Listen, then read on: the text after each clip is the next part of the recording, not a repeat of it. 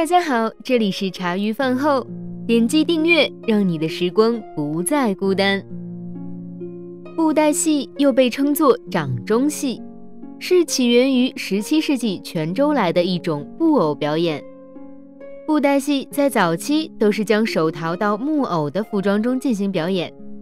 早期在迎神庙时，布袋戏是最常看到的民间戏曲表演之一。之后，布袋戏经过改良，出现在电视中，并且获得巨大成功，火遍大街小巷。而布袋戏的火爆离不开精彩的演出和动听的插曲。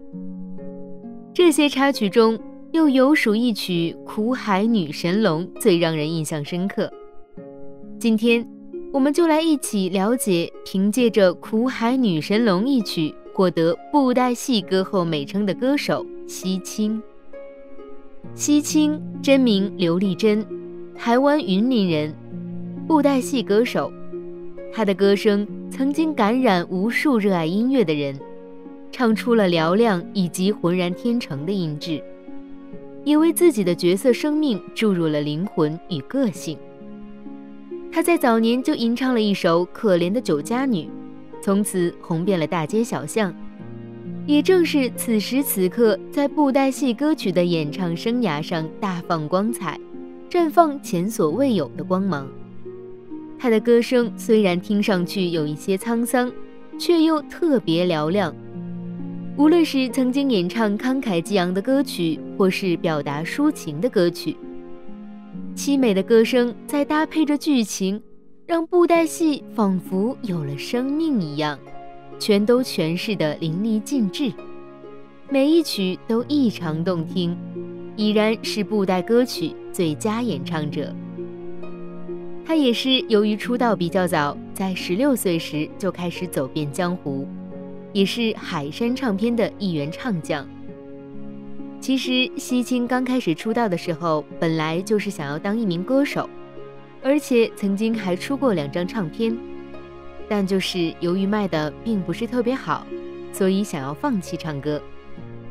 那时他表示自己唱的歌，仅仅有一些上年纪的顾客偶尔也会去选购。在当时，那些霹雳新戏特别受年轻人的喜爱。当时黄俊雄大师想为布袋戏歌曲的幕后演唱寻觅合适的声音。陈和平老师便向他推荐西青和东青以及南青三个人。试唱过后，黄俊雄大师被西青的歌声打动，再加上这两位都是云林人，于是黄俊雄便选择了西青做布袋戏的幕后主唱。成为布袋戏主唱后，西青凭借自身的能力唱出了一首《可怜的酒家女》，从此火遍大江南北。也就是在这个时候，趁着最好的时机，他开始了巡演，进一步扩大自己影响力的同时，为以后的人生奠定了不可动摇的地位。后来，西青又开始担任同名电影的女主角。西青这一生写出了无数好作品，其中最具代表的，除了《可怜的酒家女》之外，还有《爱与恨》《失恋亭》《相思灯》。苦海女神龙、广东花等等，在大多数人的眼中看来，这就是一位非常成功的女歌星。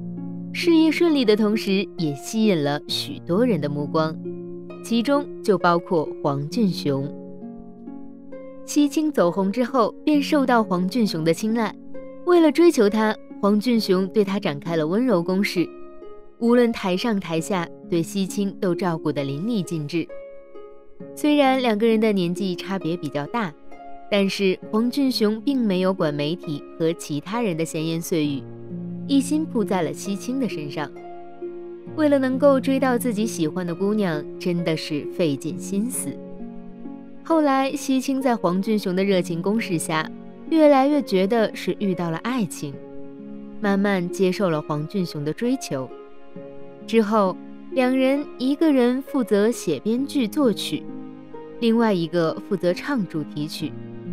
两人配合的如此默契，成为当时人尽皆知的夫妻档。黄俊雄也表示，自己写的歌还是妻子唱出来的最有味道。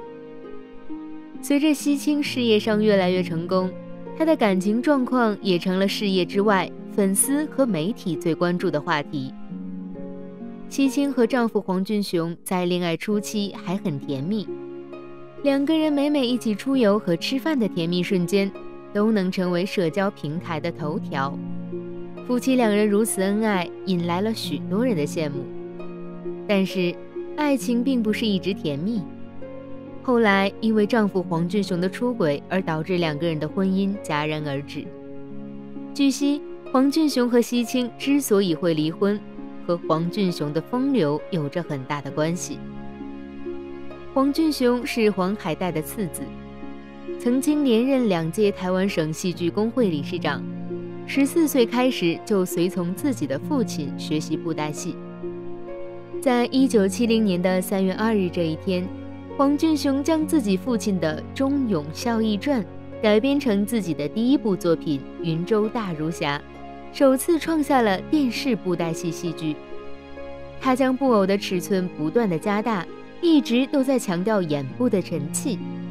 这一部作品在电视剧播出之后轰动全台湾，连续演出了五百八十三集，当时创下了台湾电视节目最高百分之九十七的收视率。在一九七四年六月二十五日时，遭受到国民党政府以妨碍农工作息为理由停播。黄俊雄曾获得全国戏剧比赛的冠军，还获得中华民国教育部社教奖、全球华人轻商十大杰出人才，曾经连续担任两届台湾省戏剧工会理事长。二零零二年时获得电视金钟奖终身成就奖。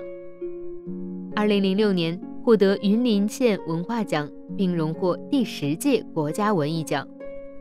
二零零八年之后，获得中华民国总统马英九聘任为总统府国策顾问。当时黄俊雄非常年轻，长得又很帅气，事业又非常成功，在观众眼里算得上是一位才子，所以他的身边总是围绕着非常多的女粉丝，甚至。还有非常多的女粉丝主动去追求他，可以看得出他的身边也是桃花不断。随着身边的桃花越来越多，黄俊雄逐渐迷失了自我，更是忘记了自己应该做一名好丈夫。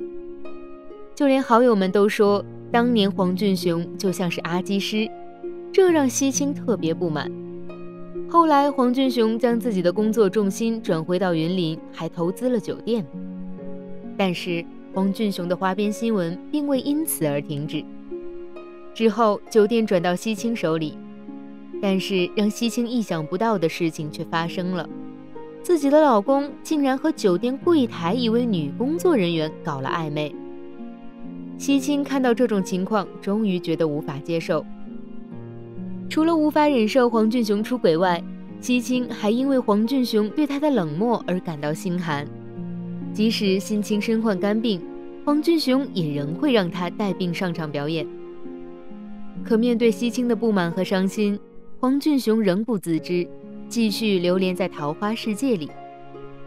期间，西青也是与黄俊雄沟通过，但多次真心实意的沟通都是无果。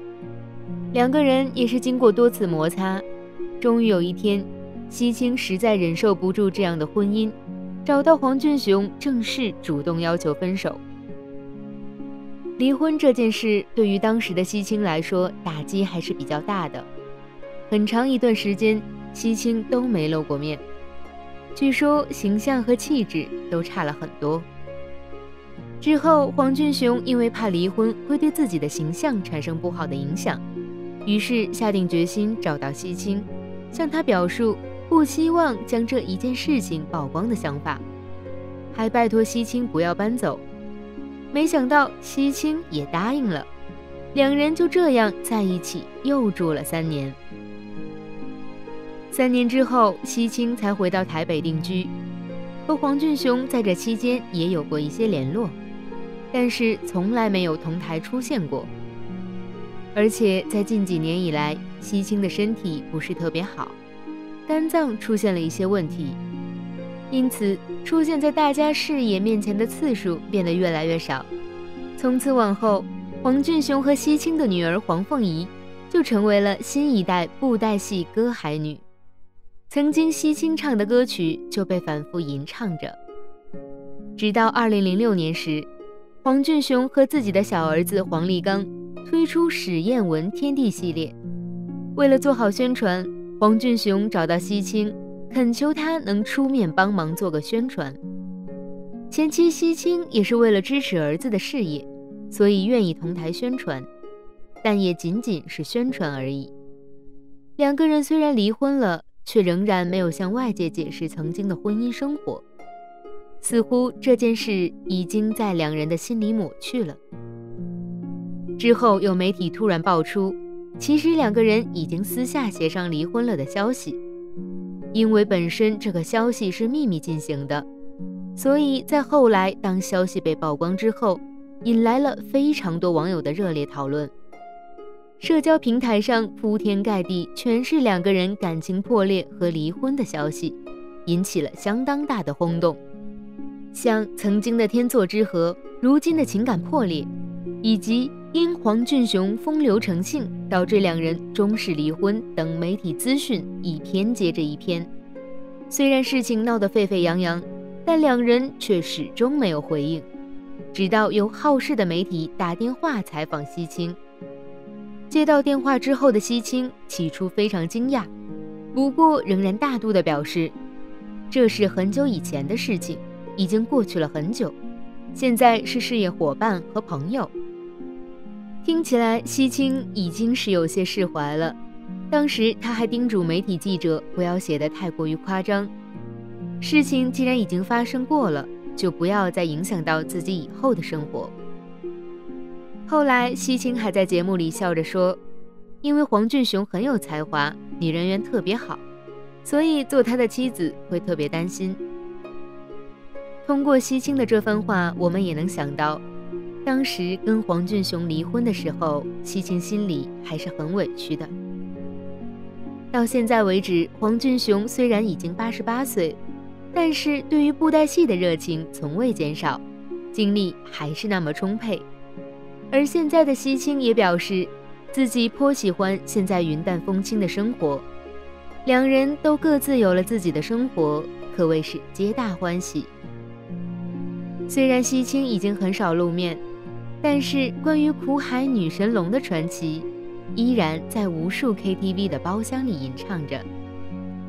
如果说首创布袋戏戏偶有主题歌曲的是黄俊雄大师，那么凭借着如此动人歌声，将这些布袋戏歌曲淋漓尽致唱入人心的，就是布袋戏歌曲演唱天后西青。虽然岁月在无情流逝，如今社会环境也在不断的发生着变化，日新月异。然而，只要是听到这些布袋戏曲歌，曾经那些旧游的记忆，同样还是鲜明的烙印在心中。对于那些英雄故事、儿女情长，随着一首又一首的布袋戏歌曲，一直盘旋在大家的脑海中，不曾褪去。最后，让我们祝愿西青身体健康，生活幸福。今天的分享就到这里了，别忘了动动手指。点击订阅、点赞、分享哦！我们下期更精彩，拜拜。